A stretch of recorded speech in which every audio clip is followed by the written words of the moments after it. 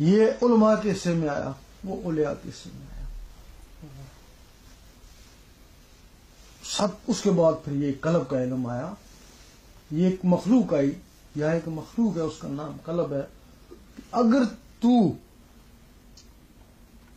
वैश्यत में दर्जा हासिल करना चाहता है अच्छा तो कलब से इबादत कर। अगर तू अगला दर्जा चाहता है तो रूह की इबादत कर। उससे अगला चाहता है, फिर दार इस्लाम की कर।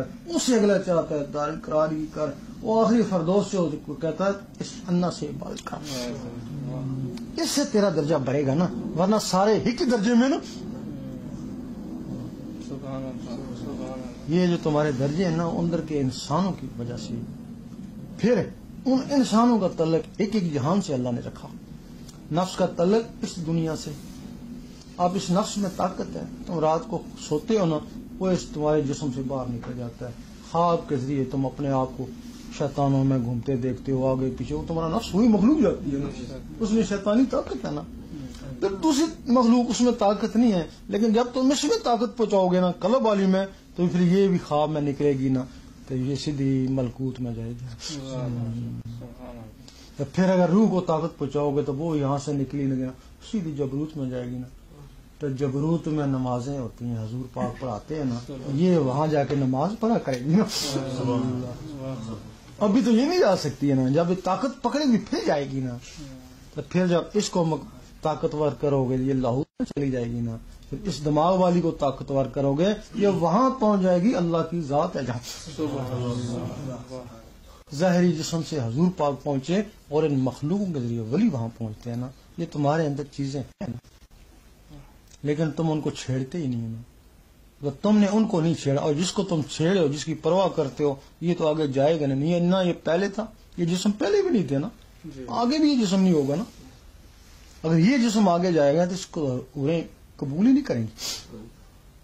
अल्लाह हम हज़ारों सालों से इंतज़ार करे कि तू बंदे भेजेगा हमारे लिए बंदे भेजेगा ये काले पीले भेज दिए इनका क्या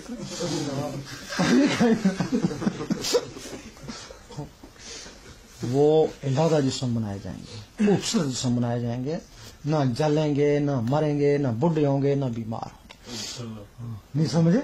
वो दूसरे जिसम बनाए जाएँगे ये दूसरी कब्र में आ जाएँगे ना तुम इसी के पीछे लगे वो तो वो जिसम इन तुम्हारे रूहों को मिलेंगे ना। अब ये जो नुस्खा है ना ये गुनेगार के लिए बहुत बेहतर नुस्खा है। गुनाहगार के लिए किस तरह? एक आदमी शराब, शूब पीता है, हराम माल खाता है। उसके लिए एक नुस्खा बेहद बेहतरीन है। अब क्या वजह है? हदीस में लिखा है कि जब कोई गुनाह करता है तो फ़ाइल पे लिखते हैं करामन का आदमी। जब फ़ाइल पे लिखते हैं तो दिल पे दबा क्यों लगाते हैं? सोचने बदले दिया ना तो दिल दिल को काला क्यों करता है तू? तो इस वजह से अगर किसी नबी वली को ज़रूरत पड़ी इसके मतलब इसकी फैल मंगवा के देख लेगा कि ये कैसा था, क्या क्या किया। अगर अल्लाह को ज़रूरत पड़ी इसको देखने की तो वो तो फैलों को नहीं, वो इसका दिल देख लेगा कि कितना बड़ा गुनेगार फिर गुनेगार ने क्या किया? वो दिल को साफ़ करने वाला तरीका सीख लिया। एक हदीस में हर चीज़ को साफ़ करने के लिए कोई ना कोई हथियार है। दिल को साफ़ करने के लिए अल्लाह का ज़िक्र उसने कल भी ज़िक्र सीख लिया। अल्लाह अल्लाह करता रहा। अल्लाह अल्लाह के नूर से उसका दिल साफ़ फैल को नहीं मिटा सका। वो तो फरिश्तों के कब्जे में है। लेकिन उसका दिल तो उसके अपने पास है ना। वो अल्लाह अल्लाह से उसका दिल चमक उठा। चमकते हुए सितारों पे नज़र पड़ती है ना, जो जाते हो तो। इसी तरह अल्लाह ताला जब देखता है तो चमकती है। दिलों पे उसकी नज़र पड़ती है ना। अल्लाह। फिर वो दिल चमकता हुआ देखता, फैल नहीं देखता। दिल दे चमकता हुआ दिल देखा उस पर मेहरबान हो गया। बस फिर किसी शायर ने कहा गुनहगार पहुँचे दरे पाक पर ज़्यादा पासा देखते ही। रह ये कल गुनहगार था इसने दिल को साफ़ किया चमक उठा दिल अल्लाह ताला इस पे मेहरबान हो। तो जब ये अल्लाह अल्लाह अंदर जाता है ना तो गुनाह को जरा सीख बाहर आते हैं। और एक दिन ये अल्लाह अल्लाह पूरे जिस्म को पाक साफ़ कर देता है। और एक दिन ये अल्लाह अल्लाह वो जो अंदर कुत्ता ना उसको भी इंसान बना देता है। अगर वो इंसान ना बने सरकश है तो वो खत्म ही हो जाता है। उस वक्त इंसान इंसान होता है ना, उस वक्त नमाज़ पढ़ता है ना तो उस वक्त नमाज़ उसके अंदर जाती है, कायम होती है। अब तू नमाज़ पढ़ता है ना सिर्फ़ पढ़ता ही है ना बार बार पढ़ता है। नमाज़ के वक्त तू मोमन है ना, वही कारोबार में हेरा फेरी रात को सो रहा, तेरा फेरी उस वक्त तुझे कौन मामून कहेगा? लेकिन जब तू अंदर से पाक होगा, नमाज़ तेरे उतरेगी। तो फिर तू नमाज़ पढ़ते वक्त भी मोहम्मद तो कारोबार में भी मोहम्मद तो सोते वक्त भी मोहम्मद तब नमाज़ अंदर कैसे उतरेगी? जब अल्लाह अल्लाह का नूर इस दिल में आएगा, बहुत सारा नूर यहाँ जमा हो जाता है। तुम्हारा अल्लाह के दरमियान ये एक टेलीफोन है, जिस वली नबी ने रब से कलाम किया, इस दिल के ज़रिए किया।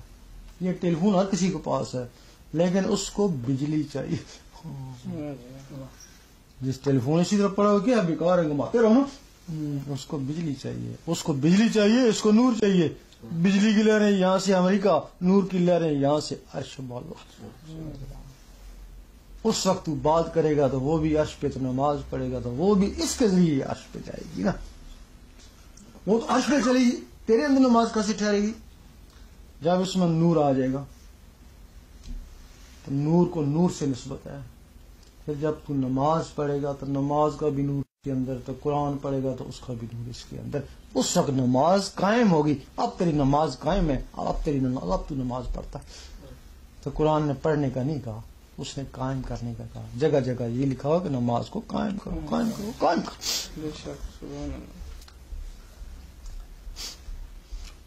तो इसका जो ज़िक्र करना चाहते हैं तरीका बता देते हैं अगर अपनी किस्मत आजमाए। अगर तो अंदर से अल्लाह शुरू हो गई। तो दुआ दे देना। तो तुमने दुआ नहीं देंगे ना तो जो अंदर बंदे डके ना, वो तो दुआ देनी भाई, जो आज़ाद होंगे कैदी वो दुआ तो देनी है ना। अगर कुछ दिन ना होया तो जो अल्लाह अल्लाह करोगे उसमें स्वाब तो मिल जाएगा क्यों जी? और ये ऐसी चीज़ है यकीन करो, ये दवाई अल्लाह अल्लाह दी ऐसी है। अगर कलब ना भी चाहे ना तो ये अपना असर ज़रूर दिखा दिए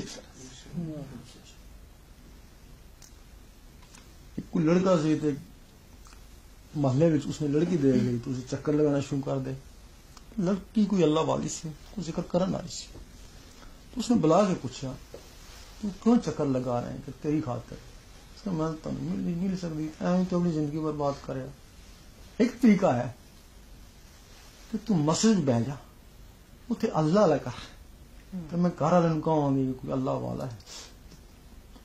फिर मैंने इजाज़त मिल सकती है तेन मिलन तो तरीका भी दस छड़िया उसने जड़ा उसने तरीका सीखिया तो रोटी मैं तुम भेजती रहांगी। वो करीबी मस्जिद जाके बैठ जाए तो अपने अल्लाह को करना शुरू कर रोटी वो भेज दे पंद्रह दिन गुजरे तो सोचा कि जाके देखिए क्या हालत है उसकी। गई ना तो उसने बुलाया। उसने ऊपर देखा, लड़की नो फिर नजर थलना करे फिर अल्लाह का वो दोबारा बुलाया तो पूछदा तू कौन है वो कहंदी मैं ਉਹ ਹੀ ਜਿਸ ਨੇ ਤੈਨੂੰ ਇੱਥੇ ਬਿਠਾਇਆ ਉਹ ਕਹਿੰਦਾ ਹੁਣ ਤੂੰ ਜਾ ਹੁਣ ਮੈਨੂੰ ਅੱਲਾ ਲੱਗਦਾ ਉਹ ਅੱਲਾ ਅੰਦਰ ਵੜ ਗਿਆ ਹਾਂ तो जिस अंदर अल्लाह वड़ जाए ना तो सारिया बीमारियों को निजात सारे गुनाह को खुद ब खुद निजात हो जाती है क्योंकि ये ना हर चीज से कादर है इसका तरीका है इसकी अपने अंदर बढ़ना है जजब करना है ਹੁਣ ਤੁਸੀਂ ਦੇਖਿਆ ਅੱਲਾ ਅੱਲਾ ਕਰਦੇ ਹੋ ਕਿਸੇ ਮਹਿਫਿਲ ਜਾ ਕੇ ਅੱਲਾ ਅੱਲਾ ਕਰਦੇ ਹੋ ਜਾਂ ਅੱਲਾ ਅੱਲਾ ਗੱਲਾਂ ਸੁਣਦੇ ਹੋ ਤੁਹਾਨੂੰ ਕੈਫ ਹੁੰਦਾ ਲੇਕਿਨ ਹਰ ਵਕਤ ਤੁਸੀਂ ਮਹਿਫਿਲ ਨਹੀਂ ਬੈਠ ਸਕਦੇ ਨਾ ਹਰ ਵਕਤ ਗੱਲਾਂ ਨਹੀਂ ਨਾ ਸੁਣ ਸਕਦੇ ਉਸ ਤੋਂ ਬਾਅਦ ਬੇਚੈਨੀ ਹੈ ਨਾ